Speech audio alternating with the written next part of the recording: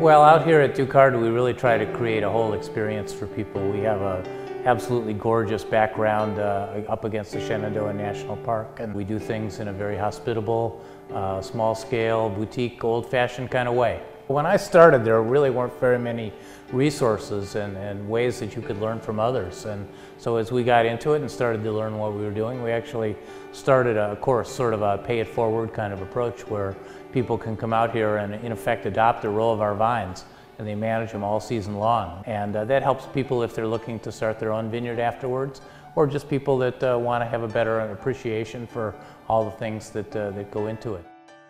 I'm from France, the southwest of France, so Bordeaux, about two and a half hours north of Spain.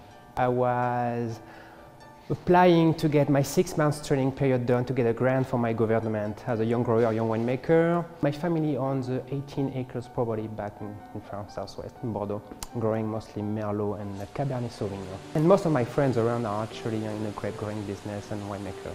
We are you know, pretty close to the Shenandoah National Park, so you've got all these beautiful mountains around and driving on a 231 in the fall afternoon, this is just gorgeous.